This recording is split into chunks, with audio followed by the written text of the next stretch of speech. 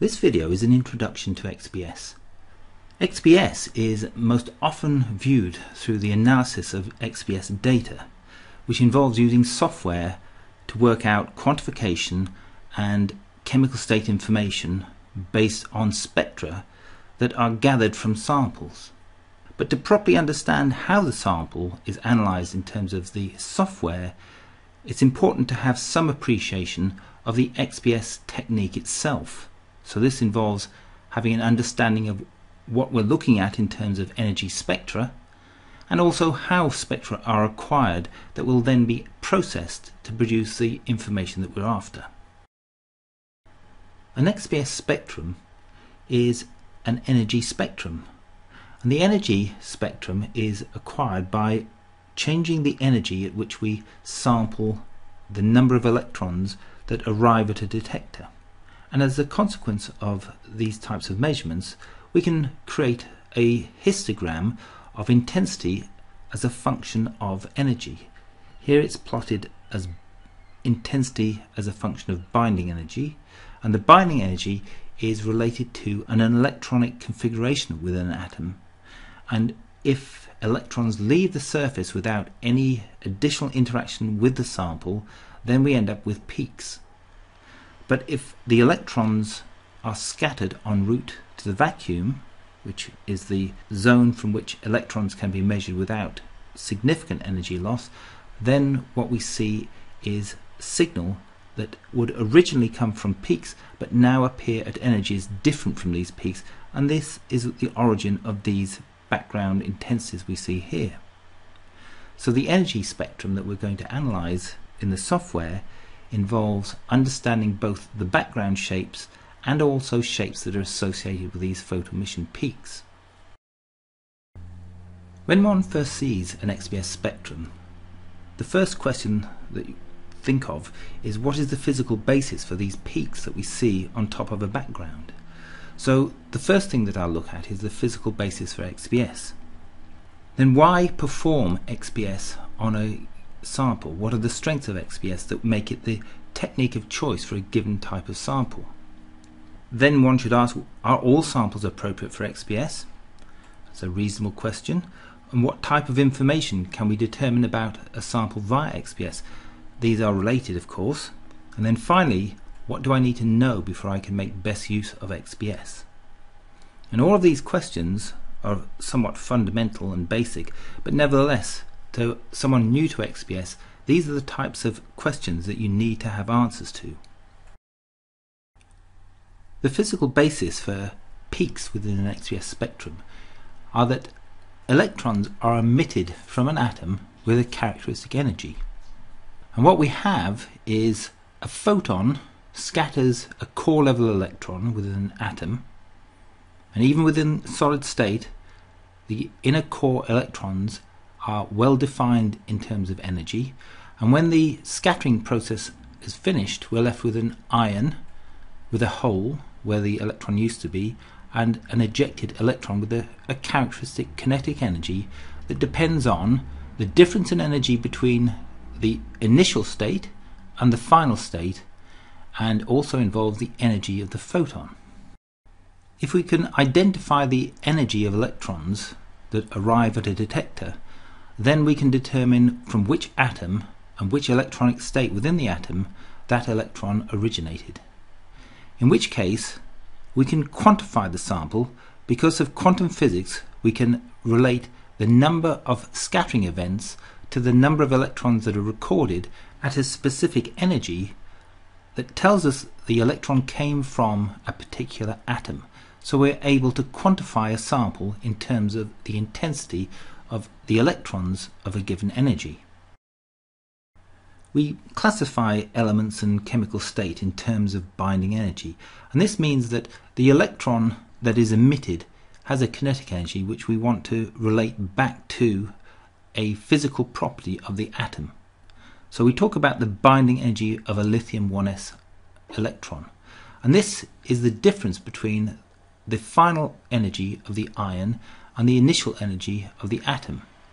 However, the kinetic energy is the difference between the energy of the photon and the binding energy. So you might expect that we can directly relate the kinetic energy of this electron to the binding energy, but unfortunately this is not the case because we have to detect this electron. So the electron, after it's emitted from an atom, has to then pass through the sample and then round the analyzer and then be detected. So there is another potential loss of energy as a result of fields within this system. So the work function is one way of describing it, is an energy that is systematically lost in the process of transferring an electron between the sample and the detector. In addition to this instrumental factor, the sample itself may be charged positively or negatively, so there are retarding or accelerating fields that act on these electrons, so these too cause an offset in the kinetic energy that we actually record. So this means that we must calibrate in some way an instrument in terms of its work function and then we may also need to calibrate in terms of what the sample is contributing to the energy of the electron. So the binding energy that we actually record is not an absolute value, it is a relative value. It should be treated as so when we interpret peaks and chemical state in terms of binding energy. In practice, we don't see a single energy for lithium 1s. What we see is a distribution of intensities over a range of energies. And this is for a number of reasons. The X-rays that excite the electrons are generated by bombarding, in this case, an aluminium anode with electrons of sufficient energy to create these X-rays. But they don't just create one energy, they create a range of energies and when we use a dual anode we're relying on the resonance of a particular X-ray line within the X-ray spectrum of aluminium. But this means that the distribution of energies of that X-ray line would manifest as part of the shape that we see in the photoelectron line. So we introduce the monochromator in the form of a quartz crystal which uses a diffraction pattern to single out a narrower distribution of energies that then arrive as photons on the sample and produce these photoelectrons. So the shape that we see in a photoelectron peak is related to the shape of the distribution of the photon energies and it's also related to how the analyzer moves electrons from the sample through to the entrance of the hemispherical analyzer and on to the detectors. So the shape that we see in this lithium 1s peak is related to instrumental factors as well as the physics of the photoelectric effect. And the physics of the photoelectric effect has a strong bearing on these peaks because you can see from the same instrument and similar energies you produce a wide range of widths and distributions for these photoelectron peaks. And that's because there is an uncertainty in the energy of electrons in the ground state. But more importantly, there is a, a, greater uncertainty in the energy of the electrons in the final state. And so we see predominantly the distribution of the final state in the photoemission peaks.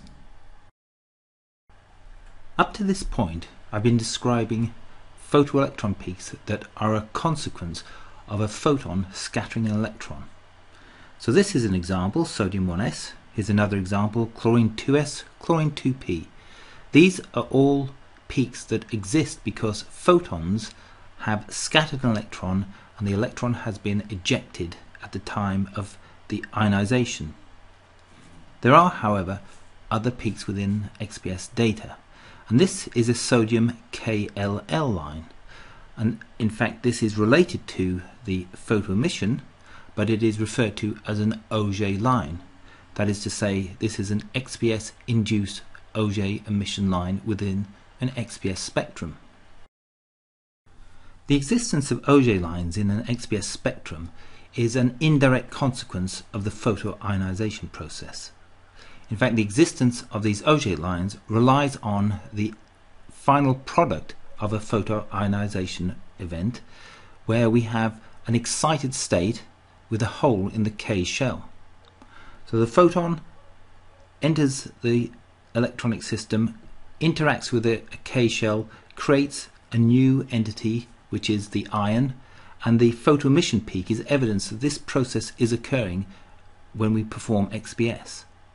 And this is a necessary condition for the start of the Auger process. The Auger process involves a capture of an electron by the K shell, and this is taken from the L shell, and when the L shell drops an electron into the K shell, there's an excess energy. And this could be taken away as a photon, or in the case of the Auger process, the energy that is liberated by this movement of the electrons is transferred out of the ion in the form of an Auger electron. So we either have fluorescence in the case of the generation of X-rays or the creation of a doubly excited ion with the emission of an electron with a characteristic energy that is the difference between the energy of the initial singly excited state and the doubly excited state that is the result of this Auger process. The fact that an Auger line relies on the difference between an ion and a doubly excited ion means that the energy that is liberated by the Auger process is always the same, irrespective of the photon energy that was used initially to create the singly excited ion. This means that the kinetic energy for Auger lines are always the same. The kinetic energy for photoelectron lines that involve scattering of an electron by a photon will change depending on the energy of the photon. So if we change the photon energy, we can move in kinetic energy the photoelectron lines relative to the Auger lines, and this can sometimes be very useful in XPS. The explanation for these Auger lines has been described in terms of an atom with a low mass and also using an s orbital. And the reason the sodium 1s was chosen for this explanation is that this is one of the simplest forms of the photoemission process, low atomic weight and an s orbital, and the symmetry of the electronic configuration makes it possible to see a single peak for the photoemission process. This is not always the case. The reason a sodium 1s was used in the explanation of the Auger process is because the atom and the ion, when a K shell electron is involved in the photoionization process, both produce one energy level. At least for low mass elements, there is a single peak, which is what we saw with the sodium. However, if the angular momentum of the electron that is emitted is non-zero, this means in the ion there are unpaired electrons that have angular momentum and there's coupling between the spin and the orbital angular momentum that splits the energy levels depending on which of the p orbitals are involved in the photoionization. So this split in energy, depending on whether it's a, a 2p 1 half or a 2p 3 halves, is the explanation of why we see doublet peaks in XPS, and it's why we need to label peaks with three quantum numbers to differentiate the different energy levels that are possible within the ions. The next question to consider is why perform XPS on a sample? And the reason that we would want to perform XPS on a sample is that XPS is a surface sensitive technique. And the reason that it's surface sensitive is that when a photon enters the sample, it may penetrate to many microns into the sample and create electrons from atoms many microns within the sample, but only electrons that are sufficiently close to the surface that the electrons can travel through the sample without losing any energy will the electron contribute to the photoemission peak. So this means that the electrons that we collect are only from the surface outer region of the sample. In fact, for an aluminium K alpha X-ray source, we expect a maximum of about 10 to 12 nanometers of material to contribute to a photoemission peak. All other electrons that we see from that photoemission peak appear within the background signal and we do not use that as part of the quantification. So the photoemission peak is targeting the outermost layers of a material. What type of samples are appropriate for XPS? This is an example of a sample that is appropriate for XPS. It's exploiting the strength of XPS in the sense that we have a material that is a metal with an oxide film and the oxide film is thin enough that signal can come from the metal and the oxide and we can see that XPS is able to separate both the oxide signal and the metal signal in terms of offsets in energy and therefore we can use this information to calculate things such as the thickness of this oxide film on a metal sample. So XPS is a powerful technique for looking at the outermost part of a sample. Although this sample may contain oxide at the top and the bottom of the foil, because of the sampling depth we know that we're only looking at this top part of the sample. None of the aluminium oxide here appears as a photoelectron peak within the data, simply because this is more than 10 nanometers below the surface that is being analyzed. So XPS is capable of focusing on interfaces and then working out the chemical state for material in those interfaces. Because XPS is a surface sensitive technique, the sample must be clean.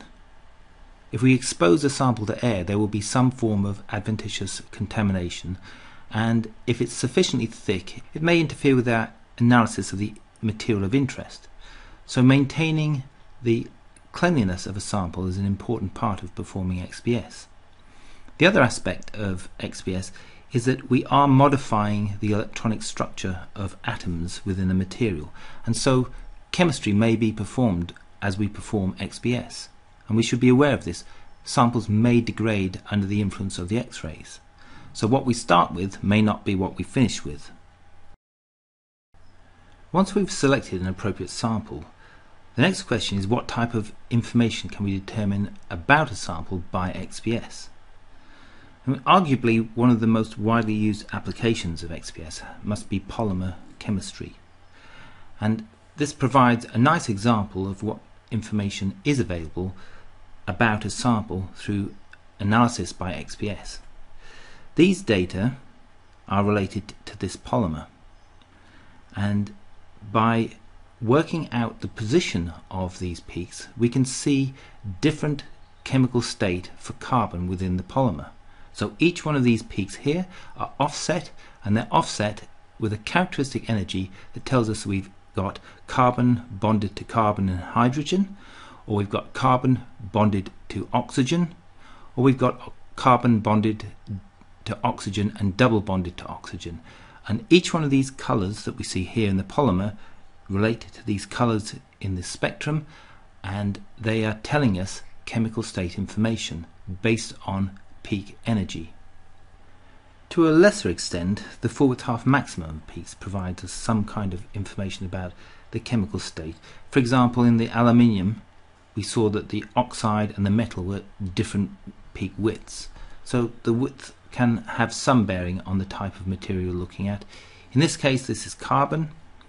We could see a width of about 1 eV, slightly more, the, the actual width may be related to the resolution of the data, but if we had sufficient resolution, we might see there's a difference between, say, a graphitic carbon peak and a carbon peak that derives from a polymer. So there is some evidence within the full width half maximum. But the more important evidence derives from the binding energy and it also derives from the peak intensity. So here we have three peaks and they're all of similar intensities as measured by area. This would be measured in counts per second EV and when we compare peaks by counts per second EV we can see that these three peaks are all about the same intensity. So this is suggesting that we have an, an equal number of carbon atoms within this polymer that all have these chemical states. So we're providing information about proportions of chemical states and the separation of chemical state through binding energy.